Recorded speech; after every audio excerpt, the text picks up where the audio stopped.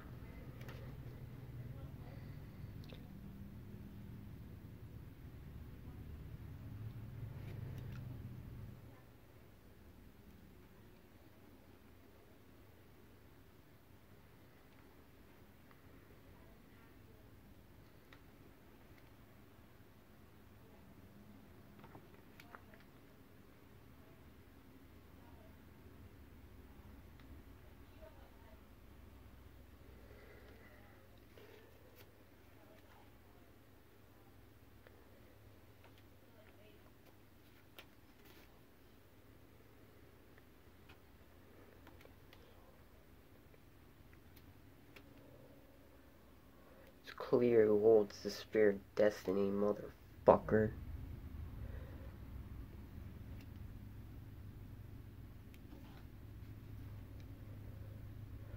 No one will stop us.